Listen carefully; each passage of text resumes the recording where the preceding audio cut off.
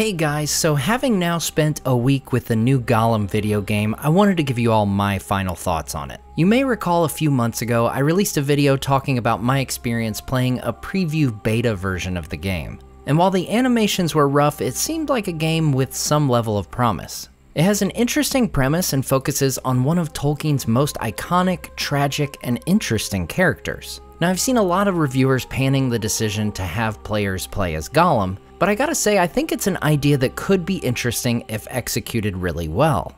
First off, let's start with the thing that I was most interested in for this game for some time now the lore. As with anything adapting Tolkien's world that's dealing with bits and pieces of information, there's a fair amount of original events and characters within the story. And for the most part, I think these original aspects work pretty well. I found myself legitimately interested in the Candleman character around the time he's recounting the tale of Eärnur, the last king of Gondor. There's other things that are directly from the books, like a reference to Beren and Luthien, a brief glimpse of Erebor, Gandalf's interrogation, and a moment with Gollum just as it's described by Legolas at the Council of Elrond. However, it feels like these moments are just too few and far between to make this a must-buy for lore fans. Omissions like Aragorn capturing and traveling with Gollum seem like something that would have made for a great cutscene at the very least, if not an entire level of the game. Now, a lot of reviews that I've seen have focused on the graphics and gameplay, and as I'm just a Tolkien fan who tends to play only a few games per year, I'll defer to those judgments when it comes to things like performance and how this compares to other stealth games. That being said, even I could notice some of the buggy issues this game had at launch and I was surprised how taxing it was to run on my PC considering the graphics of the game. Speaking of the graphics, much has been said about the quality elsewhere. Personally, I didn't mind the graphics looking like they were from the Xbox 360 era, as I knew this game was coming from an independent publisher. I simply never expected this game to compete with even last-gen games like The Shadow of Mordor, in terms of graphics, gameplay, or complexity. But the lower expectations I had in terms of these categories were not the same as the gaming community at large, and for good reason. And this brings up what is, in my opinion, the biggest issue with the Lord of the Rings Gollum the pricing. Quite simply, this game had no business being released while priced as a AAA game. As I've alluded to, I never went into this game expecting it to be the heir apparent to the excellent Shadow of Mordor games. It's made by an indie developer, and as such, I went in expecting it to be more simple in general, including the visuals and gameplay. However, when a game like this carries a $60 price tag and has an optional $10 DLC on top of that, it communicates to gamers that this is a game of a certain caliber, a level that Gollum simply does not achieve. I think if this game came out and was priced at, I don't know, like 30 bucks, the conversation around this game would be totally different all of a sudden the mindset shifts, because a $30 game doesn't carry the same expectations as a $60 game. Things like graphics and animations that feel two generations old become more forgivable in a more appropriately priced game. And if the game itself had brought a bit more variety of gameplay to the table, and not had some of the big glitch issues at launch, I think it could have been seen as a charming throwback to an older era, had it been marketed and priced as such. Unfortunately, the Gollum game just isn't as interesting or as fun as I hoped it would be. There's a lot in this game that feels repetitive, mundane, or buggy, or a combination thereof.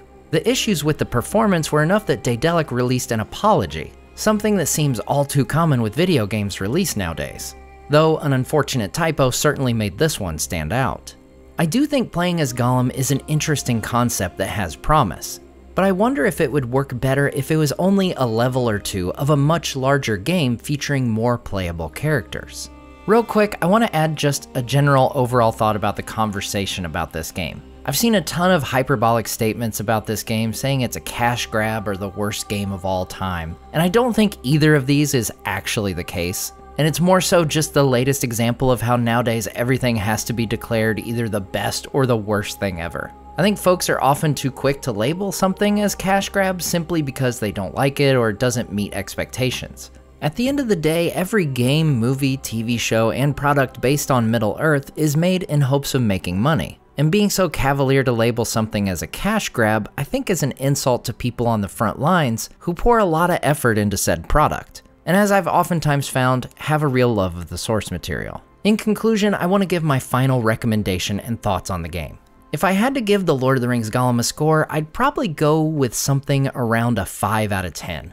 And part of the reason it gets that high rating is because of the lore moments that I enjoyed. There's nothing in this game lore-wise as outlandish as what we saw in the Shadow games. But when it comes to games, my personal opinion is that they should first and foremost be fun to play. Not that I don't enjoy and appreciate adherence to the lore and deep cut references, it's just that those things do little good if the game in question isn't a blast to play. I might be willing to bump this game up a point or so if it were more reasonably priced for the experience it provides gamers. As for my recommendation, if you're a big time Lord of the Rings fan or someone who is really into stealth games, I'd say wait for the game to go on sale. You'll feel a lot better about the purchase if you do. If you're not a big Tolkien fan and just someone who is a general gamer, there's plenty of other things to be had that will get you more bang for your buck, especially in the $60 price range. So yeah, at the end of the day, the Gollum game wasn't the smash hit I hoped it would be, but I do think there's reason to be optimistic for the future of Middle-earth gaming. There's some things coming out this very year in both tabletop and video gaming that show promise. And as I've said before, I think the Embracer purchase of Middle-earth Enterprises will bring even more Middle-earth video games in the near future. And yeah, there's always a chance we'll get some clunkers in the years to come, but you never know when we might get a new all-time classic.